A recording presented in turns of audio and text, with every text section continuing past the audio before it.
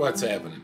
For the earliest stage classical guitars, I've mentioned the Parkening Method Book 1, and I've met- mentioned the Carcassi 25 Melodious and Progressive Studies for the guitar. But these are great books for the contemporary guitarist uh, to expand their uh, skill sets and their technique uh, through the classical method. Uh, the classical guitar is not classical music. There is classical music arranged for the guitar, but it typically refers to the traditional approach to the guitar uh, back to the 1700s and stuff, okay? Uh, and between now and then, say. So here's another book that I've used a lot with students over the years. I've used it myself. It has 120 right-hand studies, 16 left-hand studies. It has uh, arpeggio studies. It has musical examples by Bach and Rodrigo. It's called Pumping Nylon. I really like this book. You can get it now with audio access to audio examples of everything.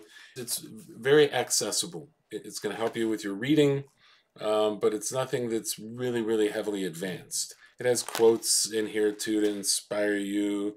Sometimes your joy is the source of your smile, but sometimes your smile can be the source of your joy. That's one here.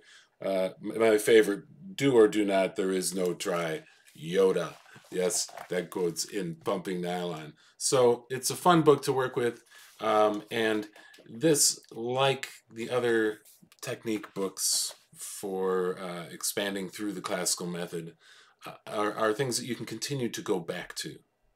All right, so I recommend that you that you use any of these classical guitar related books as a contemporary guitarist as things that you can continue to go back to to continue to expand your ability because you know we should never stop doing that. So check out Pumping Nylon. It is on my online store and uh, my eBay store. Shipping is always included on those, or find it wherever you will. Enjoy the challenge, enjoy yourself, and keep growing. Peace. Down from battlegrounds of dissonance, turned around experiments in life and love and hate